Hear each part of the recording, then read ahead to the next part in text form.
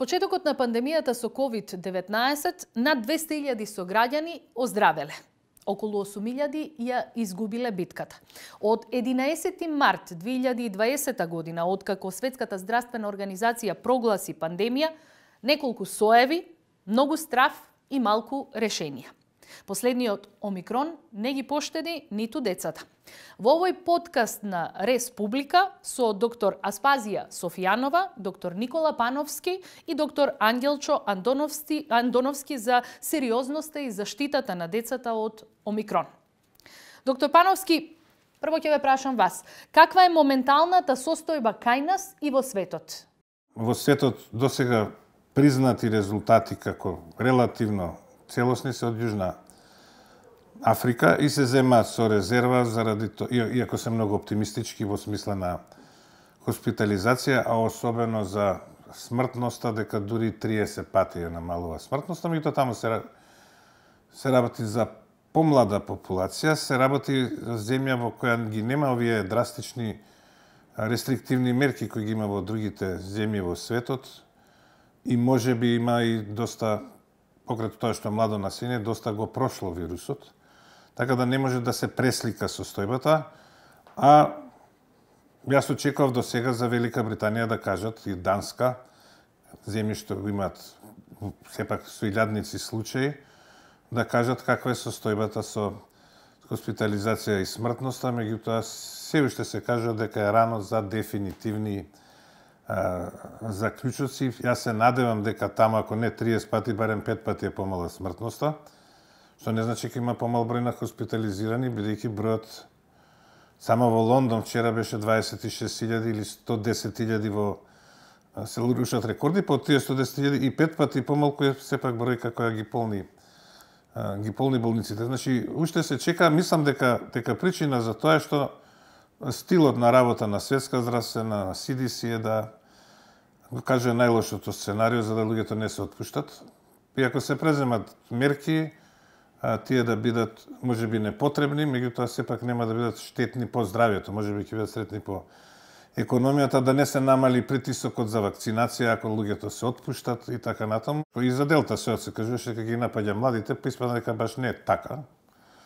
А, дека е тоа така заради тоа што повозрасните се кријат дома и и се вакцинирани се. Не може кај нас да кажеме делта се ги напаѓа младите ако ти одат во училиште, си одат по родендени, да не зборам по повозрастните млади одат по нокни клубови, нормално таму има 10.000 пати поголеми шанси да се да се заразат и кај нив да се шири било кој сој, па и овој омикрон. Така да, во тој смисол за децата не би зборувал посебно. Мис, осе чувствувам нека притисок кој не можам да го објаснам за да и тие се вакцинираат. Во тој смисол за секој сој се каже ги напаѓаат децата. И тоа статистиката за сега е рано. Ако не може за сите, не може ни за деца да се каже дали некој прави потешки симптоми или полесни. Што значи ги напаѓа, не знам. Ако ги напаѓа, бидејќи брзо се шири, тоа е докажано, не е тоа толку страшно. Побрзо ќе се прошири и побрзо ќе го снема. Доктор Андоновски, Настинка, грип и COVID-19. Со какви слики се соочувате кај децата во овие безмалку две години?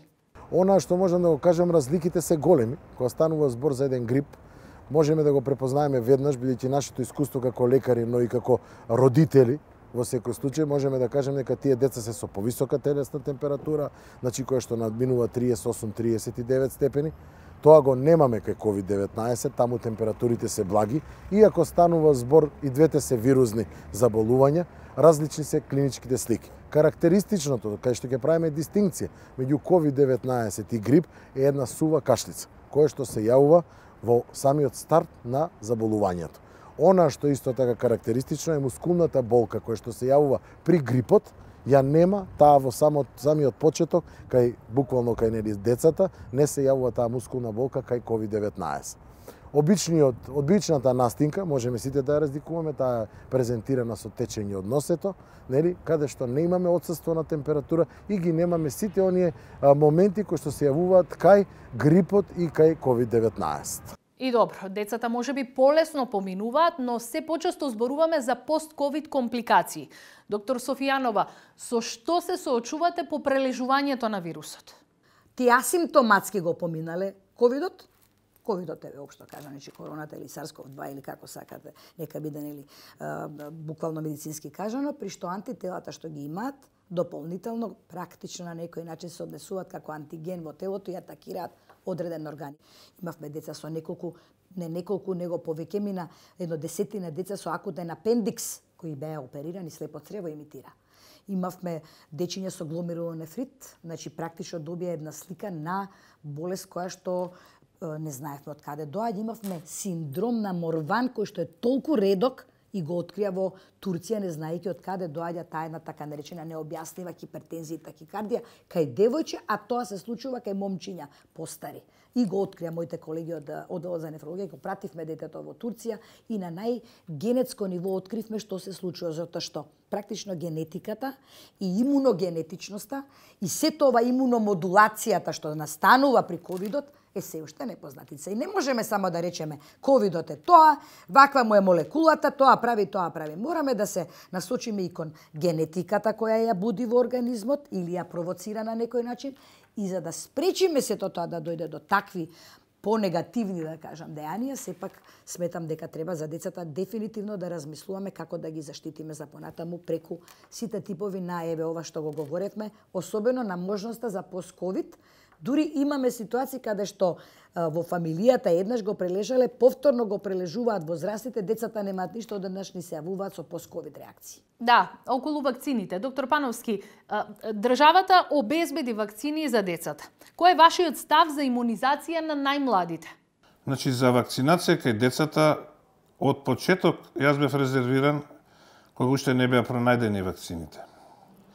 И вакцината, целта на вакцината е индивидуално здравје, да го заштити индивидуата, и втора цел е да се создаде колективен имунитет. Вакцинирајќи, да речеме, вакцинирајќи ги децата, иако може би не треба индивидуално за нив вакцина, да го заштитиме, да ги заштитиме ранливите групи, постарите, децата што имаат некои болести и така натаму, да ги заштитиме тие. Во случајов од тие две работи, ни една не, во не, бар, не гледам оправдание. Имено децата лесно поминуваат. Ако секој нека ги погледна смртноста од COVID во овие година и пол-две, и ќе се види дека кај децата таа е повеќе од 1000 пати помала од колку просекот на оние над 50 години. И а, јас мислам дека вак... треба да се оди на вакцинација, не на прележани, не на деца, туку пред се на оние над 50 години, особено над 60 години, кај што смртноста е драстично поголема кои имаат коморбидитети. Втората работа, за која може да најдам оправдание, пропадна, бидејќи вакцините не штитат од инфекција. Значи, вакцинираните ја шират болеста, и во случај вакцинирани на децата, што прашање колку етички за да ги заштитат возрастните кои од некои причини не сакале да се вакцинираат, што меѓутоа и да е така, отпаѓа бидејќи вакцинираните, ако не исто, скоро исто ја шират болеста како и невакцинираните, дури може би по, со помалце симптоми поише се движат вакцинираните, поотпуштени се, помалце носат а, заштитни механизми. Значи тоа отпаѓа и третата најважна работа, а, кога нешто се предлага овие кај децата, да подсетам дека овие вакцини се регистрирани, а некои не се регистрирани од FDA како што е Спутник, не знам зошто, но политички веројатно, за итна употреба. Што значи итна употреба? Не е завршено испитувањето до крај на вакцините, која трае негде до 2024 Меѓутоа, заради сериозноста на случаите, ги регистрираме за итна употреба, бидејќи ако чекаме 5 години, многу луѓе ќе ќе умрат, иако некаков ризик од одложени несакани дејства кои се од со години после вакцината постојат, и затоа се тие а, регистрирани emergency use only. Во овој случај, а, уште една работа, зошто не треба кај децата да се инсистира за вакцини, бидејќи кај нив немаме итност. Ако ги кажеме бројките, од Соединените Американски држави, 2019 да речеме од грип починале исто колку што починале од COVID-19 под 17 години, со тоа што од грип се позагрозени децата до 5 години, а од COVID многу поголема е смртноста од 5 нагоре. Меѓутоа во, во бројки тоа се многу мали случаи кај нас ако ги видите бројките и прашање дали се тие од ковид сите имал не знам некои проблеми со мозокот се церебрална парализа и така натаму, па добил ковид, па е заведен како ковид, а не умрел од ковид, тоа на телевизија го слушам. Значи, тоа се случаи кои се избрат на, на една рака и не знам што би била причина за за вакцинација. Кај нив кога имаме толкова голем број на невакцинирани возрастни луѓе кои о, секој дневно ни умираат. Доктор Софијанова, вие имате сосема спротивен став од оној на, на доктор Пановски. Кои се вашите аргументи за имунизација на децата? Прво ви благодарам што разговарате со педијатар, бидејќи грижата и здравјето на децата сепак потекнува од нашата да речам, субспециализација и специализација, ние се занимаваме со проблемите на имунолошкиот механизам, на растот и развојот на детето и што се понатаму. Мојот аргумент ќе биде следен, до сега прв пат го говорам ова. Значи, под број 1, мутациите што доаѓаат, доаѓаат реков од децата бидејќи тие практично се тие кои што најлесно можат каплекова инфекција да пренесат и при тоа да го измутираат многу лесно вирусот и да продолжи оваа агонија која не е лоцирана само кај нас, е лоцирана на, на ниво на цел свет. Искуствата за среќа кај нас се релативно добри, но имате исто така и негативни искуства. Јас од тука црпам информација заради која ги носам аргументи да, да не дојде до тоа. Ако еднаш дојде, тоа исто како да сте, не знам, изгубиле цела нација едно дете ако му се случи нешто.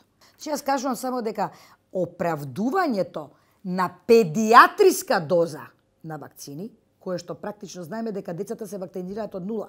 Ја не знам кој е онда дебатата на сите нешто се против кога ги вакцинираме децата од 0 месеци. Практично после раѓање веднаш добиваме добиваат вакцини. Имунизацијата против витално загрозувачки болести што биле во минатото ги заборавивме затоа што ги имаме вакцините, па да, ми, да им да вратиме едно дете со полио како изгледа, па да почнеме да се присектуваме исто како што се присетуваме сега, заборавајќи да ги вакцинираме децата, толку влегувајќи во таа еуфорија за невакцинирање, при што го добивме, ја добиваме туберкулозата како нова болест малтене на некој начин, бидејќи сме ја заборавили. И имаме деца со туберкулоза во последно време, што значи дека имуниот систем кај децата со вакцината го штити доволно добро, барем во дело да не се создаде и да го добијат од околината, од другарчињата, преку пренос или од родителите, од фамилијата, ќе бидат заштитени на тој начин што тие практично сепак нема да дозволат на тој начин да се измутира преку пренесување на своите другачиња, нема валјда да ги ставаме секојаш децата изолирани да живеат.